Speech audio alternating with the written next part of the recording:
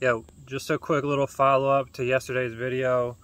Um, I just want to say that it was my best effort to provide what I think the facts are at this point.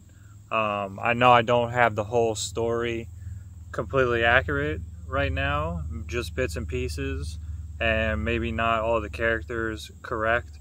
Um, and I'm sorry if I make any anything harder for certain beings around me because there's plans afoot.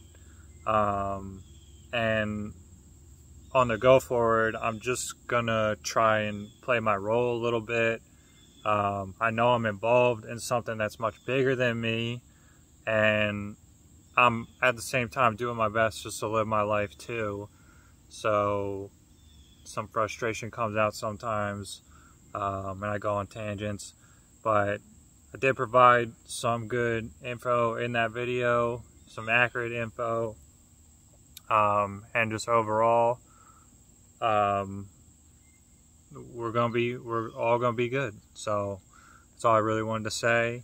Um, and again, um, sorry if I make it harder for anybody else right now with things I say, but it's still going to work out.